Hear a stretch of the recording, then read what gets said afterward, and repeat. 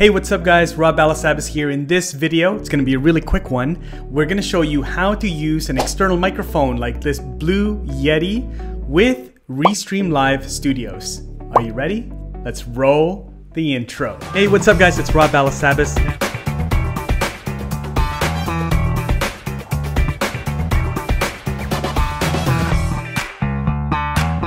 Okay, to do this is actually really easy. First, log into your Restream account. So this is my Restream dashboard right here. Click on Live Studio on the left-hand side. Then click on the gearbox right below the preview window. Select the microphone in the audio input dropdown. So I'm gonna select the Yeti stereo microphone right now. And then now click out of the pop-up option and there you go, now you're all set. Really, it's as easy as that. Now, if you have a question, make sure you leave a comment. As always, big thank you to our supporters here on Patreon. Now, if you haven't joined us inside our Patreon community yet, we're having a ton of fun in there. We're having conversations about different things, about live streaming gear, YouTube strategies, TubeBuddy, so many different things. So join us for as little as $1 a month. The links are down in the description. Now go check out this playlist of other Restream.io tutorials, and I'll see you in the next video. Bye-bye.